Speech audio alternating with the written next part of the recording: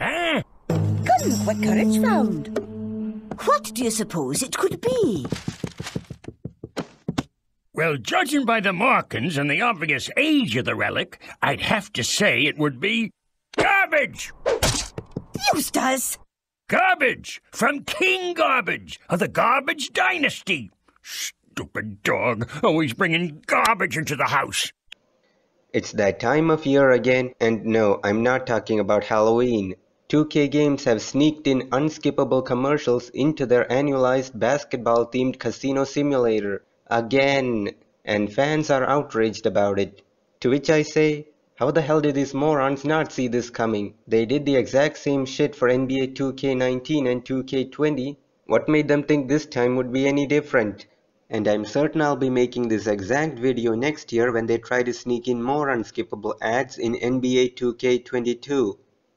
On Metacritic, NBA 2K21 got a user score of 0.8, which is appropriate and will cost $70 on next-gen consoles.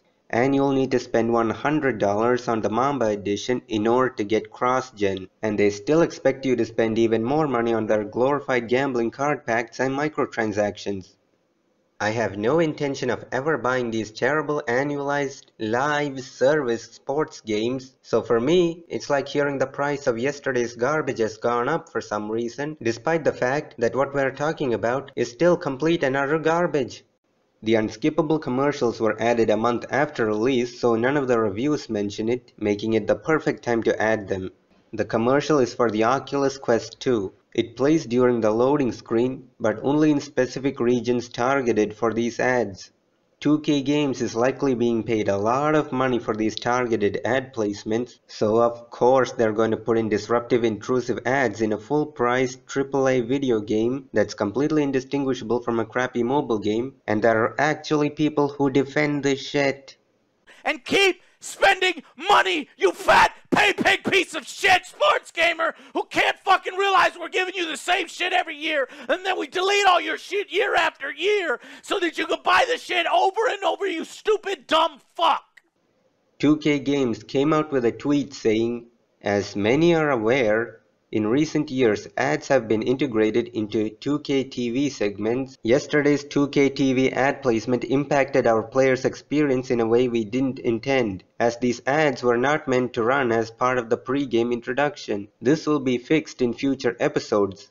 Oh no you don't. You don't get to place commercials in your game and claim it impacted your players in ways you didn't intend. When you got caught doing the same shit with NBA 2K19 and 2K20, you knew full well what the impact would be and you're only apologizing for it because you got caught and called out for it.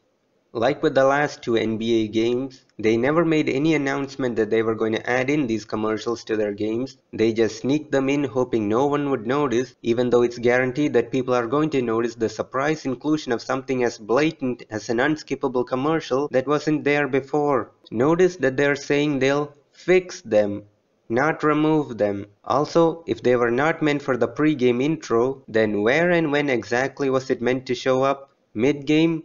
Post-game? In the main menu? In the middle of playing? All of the above? So what can be done about all this? It's rather simple, comrade. We must all rise up and boycott these games in our great revolution to free gaming from this horrible, horrible shit that we've had to put up with for years. Seriously, stop buying these games. You're better off spending that $60, 70, 100 dollars on a subscription to Netflix, Crunchyroll, and Xbox Game Pass, or better yet, ordering takeout from your local restaurant and helping the local economy. That's my two cents on this matter, and thank you for watching.